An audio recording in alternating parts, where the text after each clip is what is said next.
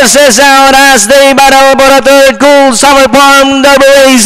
Ready, set, go. Turns gold. He's running by Adela. Turns gold. Ready, set, go. Firing it out for the lead. Three lengths watching in third. Boss Emong. Interstate Big Hook running by Adela is Real Gold. On the outside, Gintong Tubig and Interstate is the originator. Now we have turns gold. Goes on by about two lengths. Ready, set, go in second. Boss Emong in third. Big Hook is racing in fourth. Gintong Tubig in fifth. Real Gold and Interstate is still running at the tail of the field inside Hapay. Let it still turns gold by Hapalenga. Ready, set, go the outside once again.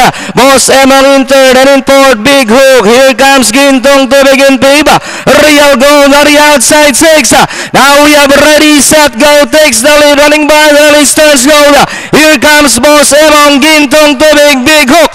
Real Gold also moving up. Uh, Ready, set, go. Moving up now is Boss Emong to take the lead. Boss Emong by Hapalenga. Real Gold on the outside as they come down the last 300 uh, with Boss Emong now by about two lengths. Uh, Real Gold is on the outside. Real. It's now Real Gold and finally it's Real Gold. Second, Boss Emong. Gintong Tubig, Big Hook, Ready, Set, Go. Turns Gold and Interstate.